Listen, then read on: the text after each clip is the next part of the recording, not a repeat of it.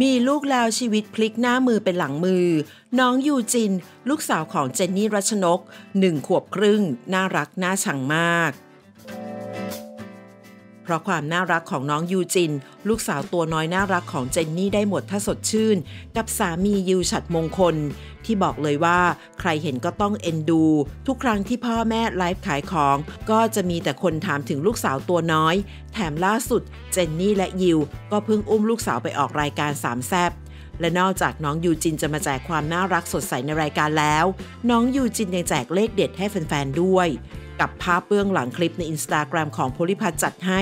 ซึ่งเอามาโพสต์กับแคปชั่นที่ว่า งวดนี้เจ้าแม่ยูจินง่วงหน่อยๆ เลยได้มา 2 ตัว งานนี้ต้องมาลุ้นกันนะว่า เลข 14 เลข 2 ตัวที่น้องยูจินกดให้พี่ๆนั้น จะถูกรางวัลลอตเตอรี่หรือไม่ น้องยูจินจะให้โชคอีกไหม เจนนี่รัชนกเปิดเรื่องราวให้รู้จักตัวตนที่แท้จริง พร้อมเผยว่ากว่าจะมีบ้านที่ภาคใต้ถึง 4 หลัง ที่กรุงเทพอีกสองหลัง ต้องผ่านช่วงชีวิตสุดพีคลำบากถึงขั้นเก็บเหรียญที่ตกพื้นตามตลาดนัด และเรื่องราวการหนีเจ้าหนี้แบบข้ามจังหวัด พูดถึงชีวิตแบบจัดเต็มแล้ว ทางรายการก็จะเซอร์ไพรส์สุดๆ จากอินฟลูเอนเซอร์แดนสะตอมอสเท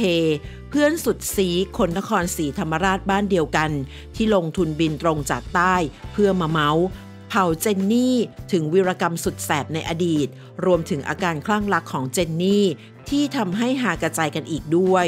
ความสนุกยังไม่หมดแต่เพียงเท่านี้ เจนนี่ยังพาชมความน่ารักของน้องยูจิน และพายิวชัดมงคล สามีสุดที่รักของเจนนี่มาร่วมพูดคุยอีกด้วย